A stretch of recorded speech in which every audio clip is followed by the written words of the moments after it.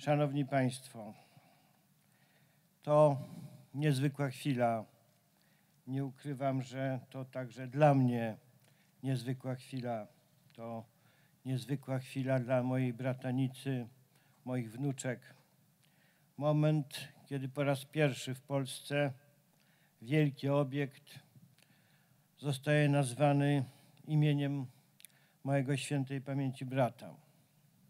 Można zapytać, czy to przypadek, że dotyczy to akurat gazoportu.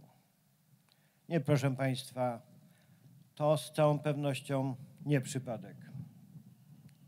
Lech Kaczyński zadał sobie pytanie, które postawiono w XIX wieku, które postawił wielki polski poeta. Polska, ale jaka? I odpowiedział, że Polska musi być państwem suwerennym, bezpiecznym, podmiotowym, musi mieć właściwą pozycję, właściwy status międzynarodowy. I tym kierował się w swojej polityce, zarówno wewnętrznej, jak i zewnętrznej. Zagadnieniem, któremu poświęcił bardzo wiele uwagi i bardzo wiele wysiłków, było bezpieczeństwo energetyczne. Gdy rozpoczynał swoją kadencję, to bezpieczeństwo było bardzo zagrożone, było słabe. Podejmował wiele, bardzo wiele różnego rodzaju przedsięwzięć politycznych, gospodarczych, które miały tą sytuację zmienić.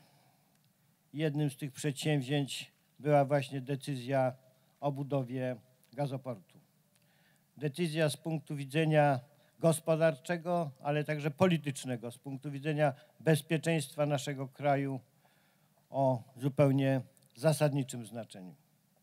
Decyzja, która miała zmienić i zmienia dzisiaj sytuację, sytuację Polski, jeśli chodzi o bardzo ważny aspekt jej międzynarodowej pozycji, właśnie tej dotyczącej bezpieczeństwa.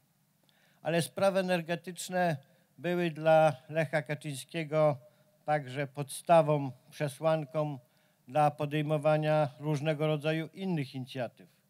Tych, które dotyczą polskiego statusu, a więc takiej trwałej międzynarodowej sytuacji naszego kraju i polskiej pozycji, czyli tego, o co każde państwo, nawet najpotężniejsze, nawet Stany Zjednoczone, musi nieustannie zabiegać. Robił wszystko, by ten status był jak najlepszy, jak najmocniejszy i żeby ta pozycja była podnoszona, jak to się dzisiaj często mówi, lewarowana, nawet może powyżej naszych realnych sił. I udawało mu się to, przynajmniej w bardzo wielu wypadkach. To wszystko, cała ta polityka, którą prowadził, była całością, przemyślaną, konsekwentnie realizowaną całością. Ale różne jej elementy były związane z sytuacją, były związane z przedsięwzięciami, z bezpośrednimi działaniami tragicznie zmarłego prezydenta. Inne miały pozostawać jako część naszego krajobrazu, krajobrazu gospodarczego. I to jest właśnie takie przedsięwzięcie.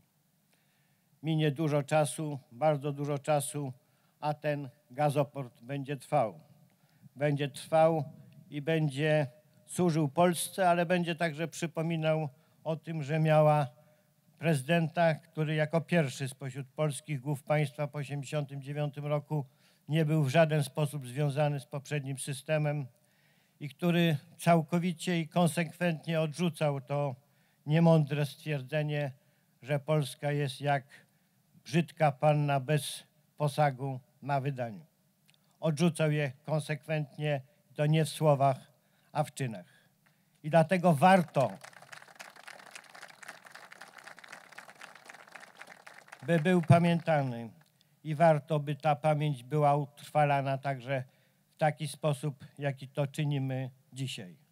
Chciałem bardzo serdecznie podziękować panu ministrowi Naimskiemu, kierownictwu tego przedsięwzięcia, kierownictwu gazoportu, wszystkim, którzy w jakikolwiek sposób przyczynili się do tego, że dzisiaj możemy nadać gazoportowi imię Lecha Kaczyńskiego.